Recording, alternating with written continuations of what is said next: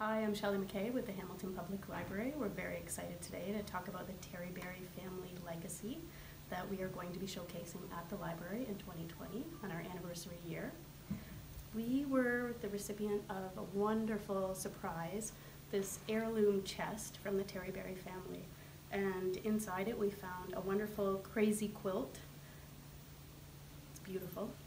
We found a nice little gold curio box that held $25, which was from the Dundas High School as a scholarship item. Some beautiful cologne bottles, teacup saucer and china.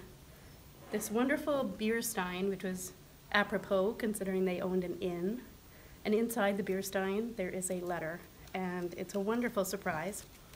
The letter talks about money and being away at school and how expensive it is. And, and he used $10 to buy a nice new suit. Um, we also have Grandpa's mustache cup and a sugar bowl, a copper sugar bowl that held the ultimate in luxury. So we're very excited and uh, we look forward to showcasing this with the community.